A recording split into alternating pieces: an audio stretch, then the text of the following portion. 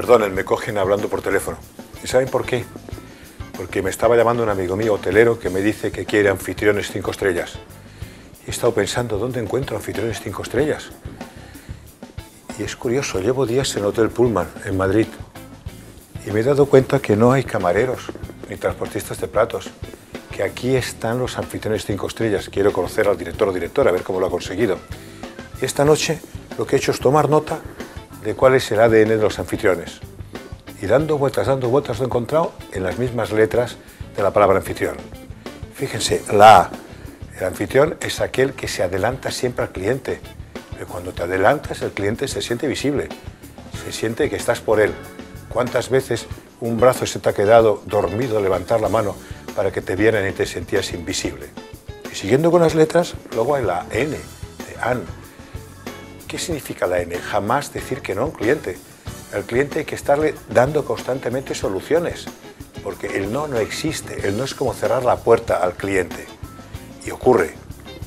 Y luego vemos buscando las letras, aquí me las he escrito, la F.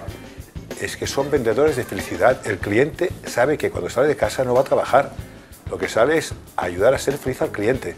El cliente sale de su casa y nos paga lo que consume o lo que desea porque quiere ser feliz felicidad.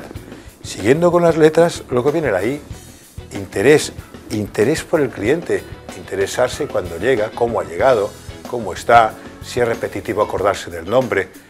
Las personas lo que más deseamos es que nos recuerden, nos digan nuestro nombre, nos sonrían. ¿Os imagináis llegar a casa, a vuestra casa y no decir nada, ir directamente a la cocina o al comedor y ni saludar, pasar como si fuerais de incógnito? Y siguiendo con las letras nos encontramos con la T, la T de tentar. El sueldo, hemos dicho varias veces, solo paga las ventas y la felicidad es poder escoger. Y la T significa tentar. El anfitrión tienta. El, anfitrión está preguntando y tentando. Porque cuando tientas el cliente puede escoger y lo haces feliz. Y seguimos con las letras y tenemos la R. El anfitrión es receptivo. El anfitrión te recibe. El anfitrión está contigo y te acompaña. Y receptivo quiere decir también que está atento a cualquier solicitud extra que tú necesites.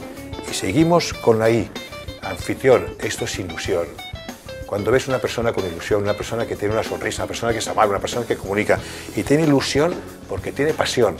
Sin pasión hay defunción. Por eso fíjese que defunción e ilusión son dos formas distintas de ir por la vida. También la O, es que el camarero es una persona, el anfitrión, que se organiza. Se organiza en los tiempos, los tiempos de espera. Eh, no te atosiga. Eh, se organizan entre ellos. A veces vas a un restaurante y te vienen tres personas pidiéndote eh, qué desea tomar cuando yo lo has pedido o te traen dos veces lo mismo, pero no se organizan. La, la transmisión de la excelencia también forma parte de ser anfitrión. Después de la O, que hemos hablado de organizarse, organización, viene una N, es importante esta N. A veces vemos personas y decimos, esa persona tiene luz, es una persona natural, es una persona que no está forzada. Y hemos dicho aficiones cinco estrellas.